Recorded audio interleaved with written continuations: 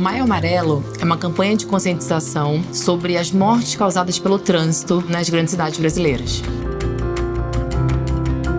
Os editores de mapa do Waze são pessoas voluntárias que ajudam a gente a manter os mapas do Waze atualizados. É uma alegria a gente saber que está ali ajudando para deixar o caminho mais fácil para alguém. Hoje em dia já são 30 mil pessoas que ajudam a gente com 25 milhões de edições mensais desses mapas. Eu recebi um erro de mapa de uma mulher que a cidade dela não estava no mapa. E aí a gente montou um grupo, fazer as ruas, o nome das ruas. E a gente recebeu um e-mail muito legal dizendo que a gente não tinha noção de o quanto a gente melhorou a autoestima dos moradores. Em Brumadinho, quando rompeu lá a barragem, eu ajudei a buscar informações de locais de doação e abrigo de emergência para quem precisasse chegasse no local da forma mais rápida possível. Então a gente faz questão de reuni-los em algum lugar no mundo para a gente trocar ideia, para a gente conversar. A gente valoriza muito esses editores. As minhas primeiras edições foram